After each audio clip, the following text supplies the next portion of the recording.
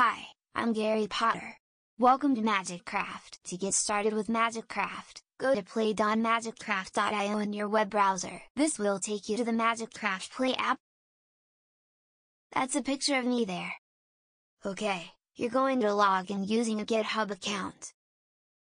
Click the black login button. If you have a GitHub account, just log in. Otherwise, you can't create a new GitHub account. To create a GitHub account, just follow the instructions, and be sure to check your email because you need to verify your email address before you can log in.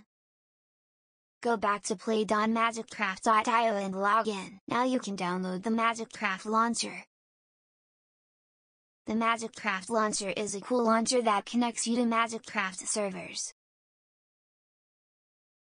Follow the instructions on the client.magikcraft.io website and download the launcher for your operating system. Once it downloads, start it up. Log into the Magikcraft launcher using your Minecraft account. You get that from Minecraft.net. Now it will download any files that it needs.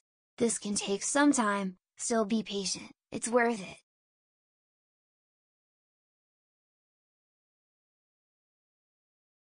Now click on the Join Magikcraft button. When you join the Magikcraft server, type slash spellbook. This gives you a link to use.